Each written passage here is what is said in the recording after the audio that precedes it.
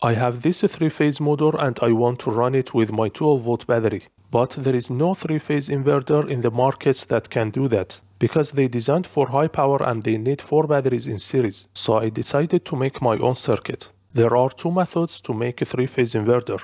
Using a microcontroller or by using an SPWM module. But I don't like to use them. Instead, I want to use 4017 IC, 555 timer and some other components that I already have.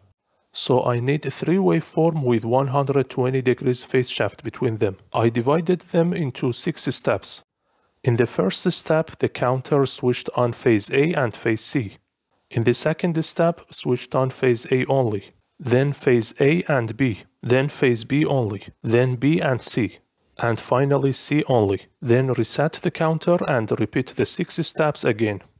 There are three transformers, one for each phase. Each transformer connected to two MOSFETs. We need a NOT gate here to make sure only one MOSFET each time is switched on. We also need an oscillator for the clock input of the 4017 IC. I designed the PCB and ordered it from PCBWay.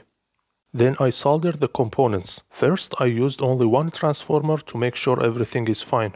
There are some high voltage spikes, so I use this capacitor across the output to remove them.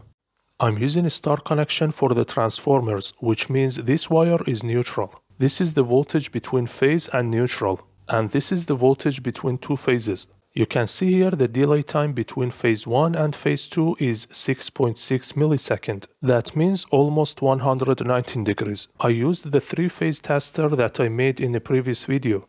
This switch flips two phases to reverse the motor. This is the output waveform by using a probe with 100 times attenuation.